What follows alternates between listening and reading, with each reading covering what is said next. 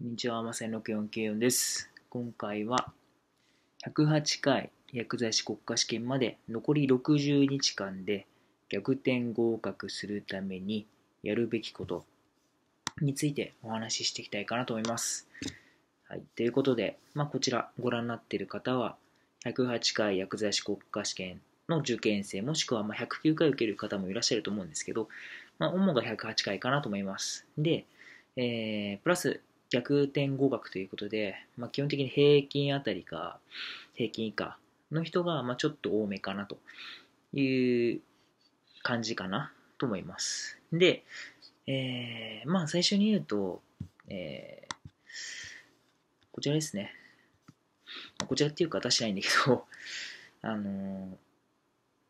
完全にこうすれば逆転合格できるっていう方法って人によって異なってくるんでこれですって今の時点で正直言えないんですね。もし言ってる人間がいるとしたらそれは嘘つきです。はい。あのその人に適した勉強方法をやって逆転合格できるっていうのはあるんですけどその人、まあ、万人に受ける方法でこれやってくださいねっていうそういった勉強方法でやるとそれを見たみんなが同じ、えー点数が上がっていくんで何も逆転合格できないです。むしろ同じぐらいに上がるんで、うん、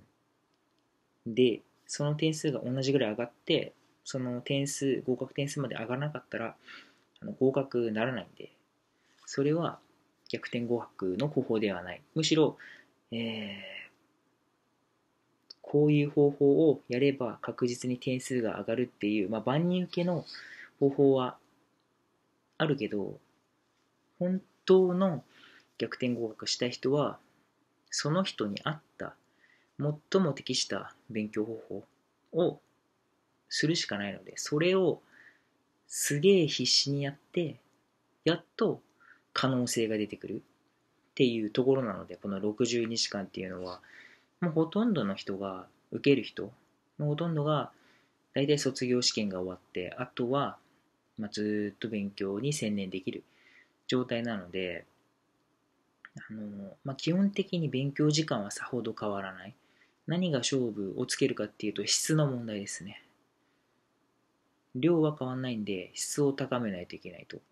でその質の高め方っていうのは万人の勉強方法ではなくその人に合った勉強方法じゃないといけないとその質ですね。でその質を最も高める人間があの私なので、まあ、その理由としてはあの実績としてはあの、えー105回だっけ？105回から107回。薬剤師国家試験の際に受け持った教え子の合格率が100%っていうのが実績です、私の。はい。まあ、今まで受けてきた107回までですね、の、まあ、教え子の人は、まあ、完全に全員合格させてるんで、なので、まあ、その実績を持って、逆転合格、一番可能性が高くなる方法としては、あの、私に委ねていただければ、点数は上がります、最も。あのどの勉強方法どの人に聞いてる勉強方法とと比べても点数を上げさせることができるので連絡してくださいっていうことですね。で連絡してもらってその人のあの今までの勉強内容とか聞くんであのそれにあなたに最も適した質の高い勉強法をあの教えていくんででもし逆転合格したいギリギリまで粘りたい必死になってやりたいっていう人がいらっしゃれば連絡してきてください。それに対応させていただきます。はい。まあそんなところでしょうか。でまあ一応、まあ、のこの辺りかな。こっちかな。に、え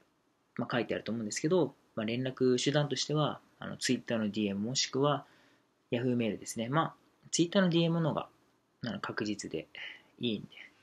で、DM 送ってみてください。まあそんな感じですね。まああと60日間なんで、まあ、本当に短いですね。60日であっという間に来てしまいます。その間に251回薬ゼミ統一持ち3もあるし、で、まあね、末、えー、お正月等が入ってくるので、まあ、ちょっと多少だらけてしまう期間ですね。その期間にきっちりやれる人間かどうかっていうのと、あと模試の点数がどれぐらい上げられるか。まあ、そこで人のモチベーション変わってくるんで、まあ、そこまで頑張って、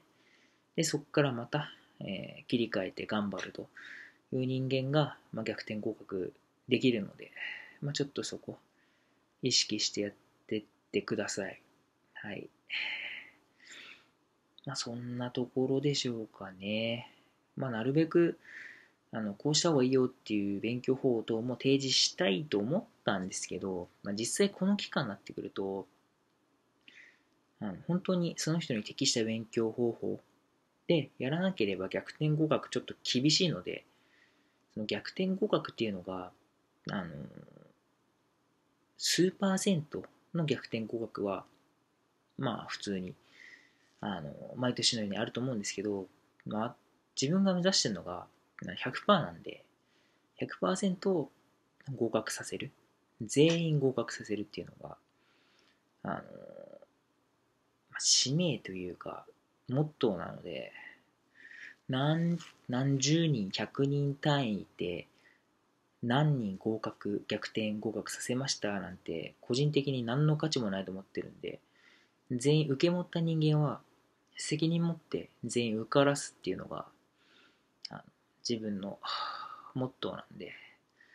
なのでそういったあの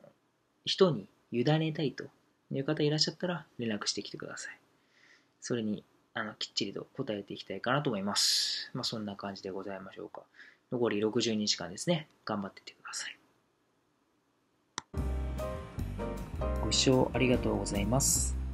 薬剤師国家試験攻略メソッドは無償で運営させていただいています。そのため皆様のご協力が必要になってきます。マサ46494の YouTube チャンネル登録、Twitter フォローをよろしくお願いいたします。それではまたお会いいたしましょう。